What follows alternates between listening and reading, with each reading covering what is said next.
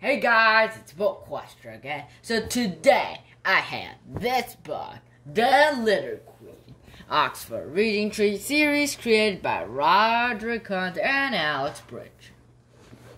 Wilf and Wilma's mom and dad took some of the children for a picnic. They went to a place called White Horse Hill. It was a warm summer's day, and there wasn't a cloud in the sky. It was a perfect day for a picnic in the country.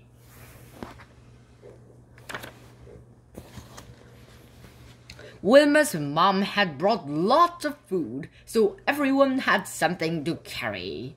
We'll have our picnic at the bottom of the hill, she said. I know a good place to sit. Wilma's dad spread out a rug and everyone sat down. This is a great picnic, said Biff. These sandwiches are really good. And this is a great place on a day like this, said Wilma. I can see for miles.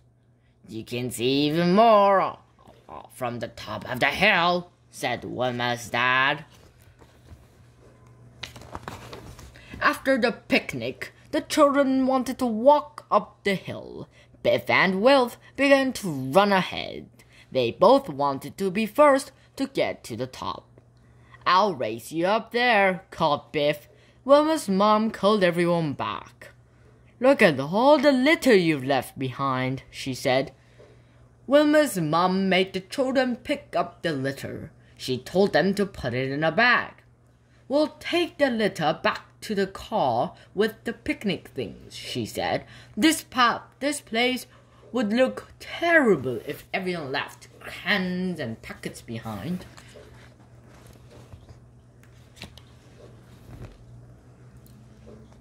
They took the picnic things back to the car. Then they walked up the hill. It took quite a long time to get to the top. Everyone sat down for a rest.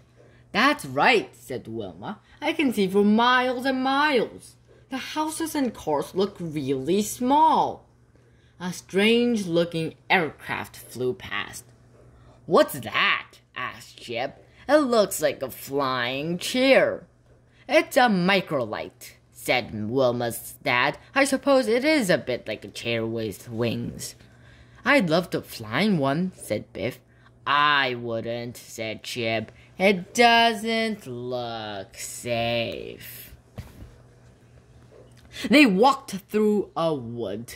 Floppy ran in and out of the trees. Suddenly, he yelped. Oh no, said Chip. Look at Floppy. I think he's hurt himself. Floppy couldn't walk properly. He started to limp. His paw was bleeding. Wilma's mom looked at Floppy's paw. It looks as if he's cut it, she said. Will found a broken bottle. He must have cut, cut it on this, she said. He said. Wilma's mum was angry. It's so dangerous to leave broken bottles lying about, she said. The children wanted to play cricket, so they had a game before they went home. Floppy tried to join in, but he couldn't because his paw was too sore. Poor old Floppy, said Biff, just as luck to step on some broken glass. At last it was time to go home. Thank you for taking us, said children. All this fresh air has made me hungry, said Wilma's dad. Maybe we can stop for something and to eat on the way home. Hooray! said everyone. Every but everyone wanted chicken and chips. So Wilma's dad stopped to get some. I wonder why food tastes better when you eat it outside, said Wilf. It tastes good because we're all hungry, said Wilma's dad. When they had finished, well, Chip and Wilf looked for the litter bin. There was only one bin and it was full. Chip threw his litter on the ground. I don't think we should do that, said Biff. Well, what what else can we do? said Wilf. The litter bin is full, so what does it matter? The children were tired after the picnic. Chip was glad to get into bed. The magic key was in the box next to Chip's bed. Suddenly, the key began to glow. Oh no! gasped Chip. This means a magic adventure, and I'm on my own. Kipper's asleep, and Biff is still downstairs. The magic whisked Chip through the door of the little house. He felt himself spinning round and round. Help! Help! called Chip. He knew that he was not going to enjoy this adventure. I wish Biff was here, he thought.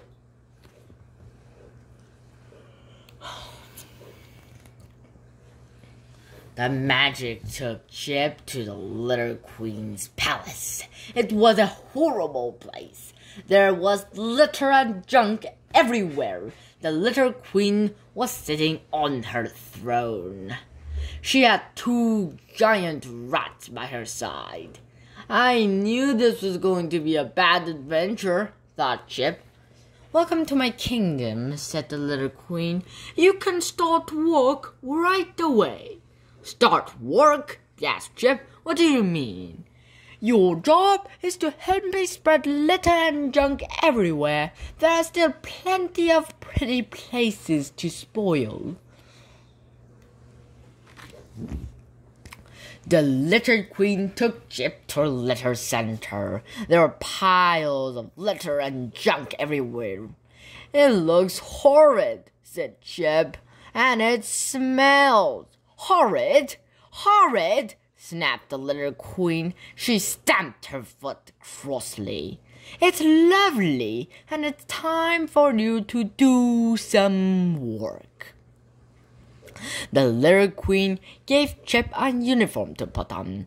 Take a large bag and fill it with litter, she ordered. You can start by making a mess of a few parks and playgrounds.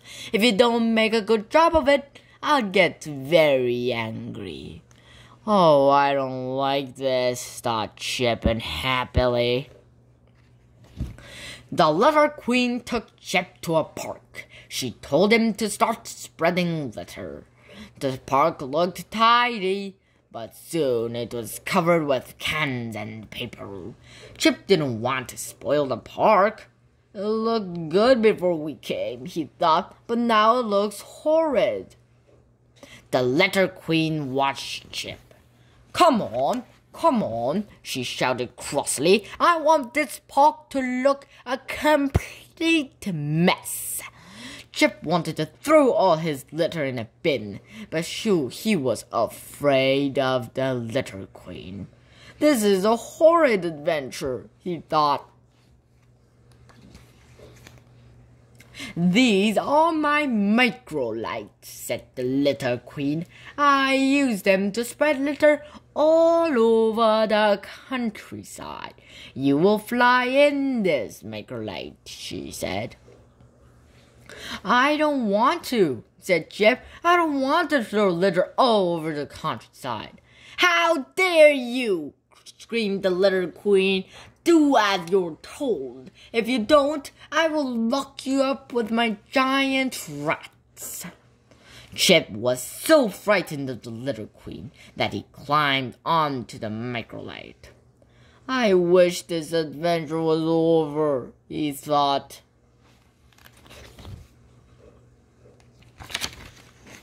The microlight took off. Soon it was flying over the countryside. Chip held on tight. Before him he could see meadows and fields. He could see streams and tiny houses. He could see woods and green hills. The countryside looked so pretty, he thought. Oh no, gasped Chip. That looks like the place where we had our picnic. I can see the wood where Floppy cut his paw. The microlight began to fly lower. This was the place he had to drop the litter. I don't want to drop litter here, he thought. I hate the magic key, said Chip. I don't like this adventure, and I wish it was over. Suddenly, the microlight went out of control. It began to spin. It went round and round, getting faster and faster. Chip's bag of litter burst open. Chip was falling. He seemed to be falling for a very long time. He was falling with the litter. There were cans and bottles and bags and wrappers. Everything was spinning round and round. The magic key flew out of Chip's pocket. Where's the magic key? shouted Chip. I must find the magic key. Chip was in bed. The adventure was over. But was it a magic adventure or just a bad dream? Mom and Dad heard Chip shouting. They came into his room to see what was wrong. You are having a bad dream, said Mom. I expect you ate too much at the picnic. It was a magic adventure, said Chip, but I lost the key. Dad looked at Mom. Perhaps he's not well, she said. Perhaps he's got a temperature.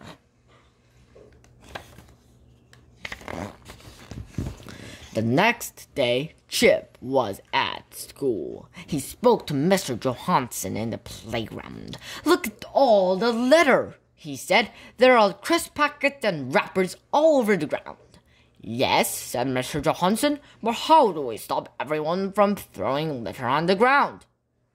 Let's do a litter project, Chip said. The children in Mr. Johansen's class picked up all the litter around the school. Then they made posters and wrote stories. Mr. Johansen put the project project in Save Our Countryside competition. Dun-dun. Dun-dun, Mr. Johansen's class won the competition. Chip won a special prize for his story called the Litter Queen. An important person came to give out the prizes. That was a very good story, Chip, she said. It was a nightmare, said Chip. The litter queen. Chip is careless about dropping litter. Meeting the litter queen soon teaches him a lesson. Do do do do do do. Litter queen, Oxford Reading Tree. Thanks for coming and leave a like.